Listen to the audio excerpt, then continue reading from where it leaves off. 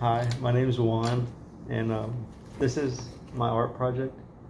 For it's a, it's supposed to represent Dia de los Muertos, uh, celebration in Mexico. So I did a like a sugar skull with a bunch of flowers on it.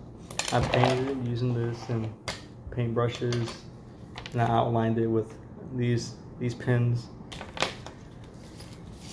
And I'm I'm doing this because I'm I'm Mexican. You can tell by the name. And um, this really represents our heritage. One of the main things that represents other than the food, or the main people think of this. Like if you've seen the movie Coco, you see a lot of the characters that look like this with the flowers, or the the little paintings on their face. So I really wanted to do this because it's a great representation of my race. And um, and it just seemed like a really fun thing to do.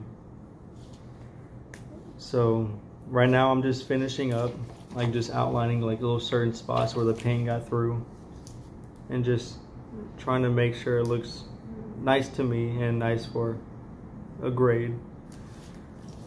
So that's the, that's the main thing I'm worried about. I wish I would have used color pencil instead of paint because I felt like the paint messed it up.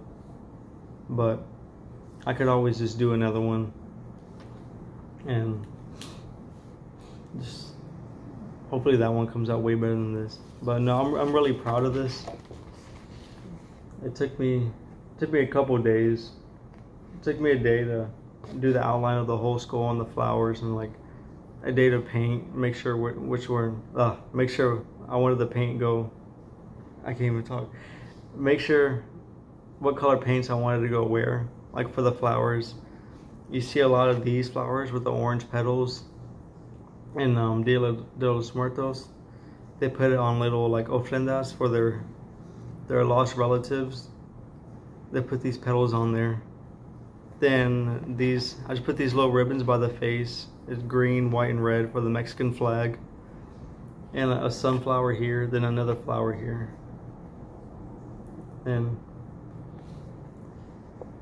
yeah, then just other like little designs just to make it more unique to my style. Usually they're they're symmetrical across, but that was that would have been a hard task. But I just wanted to do this also just so I could show more designs, not the same thing over again.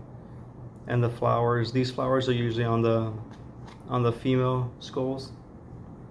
And the the men do usually have that, so you can say this is this is a female one. I wanted to put another flower right here, but once I got these ribbons down, I liked it. I liked it a lot. And so yeah, this is my piece.